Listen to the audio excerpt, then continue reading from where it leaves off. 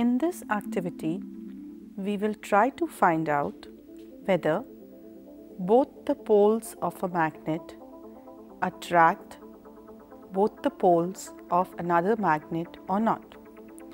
For this activity, we need two bar magnets, one cylindrical magnet. Keep a bar magnet like poles of the magnet repel each other. Opposite poles of the magnet attract each other. You can see north pole attracts the south pole of another magnet, but north pole repels the north pole of the other magnet. Similarly, south pole of one magnet repels the south pole of another magnet. But south pole of one magnet attracts the north pole of another magnet.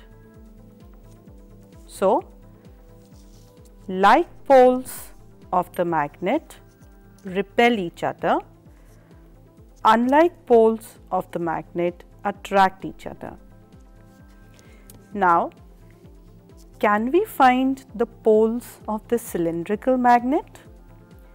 We take a bar magnet labeled as north on one pole and south on another pole.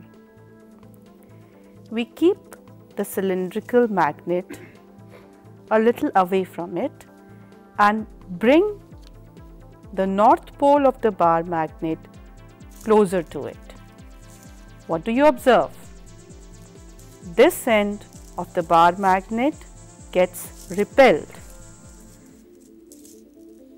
So, the end of the cylindrical magnet which is getting repelled by the north pole is its north pole.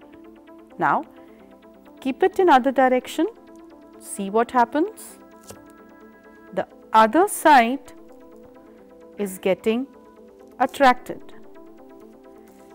This means this is the south pole of the cylindrical magnet.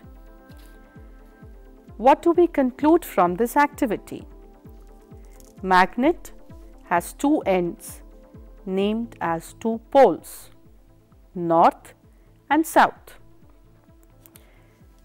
Like poles of the magnet will repel each other.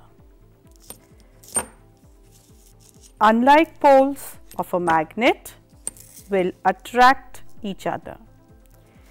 We can find pole of any magnet by doing this activity.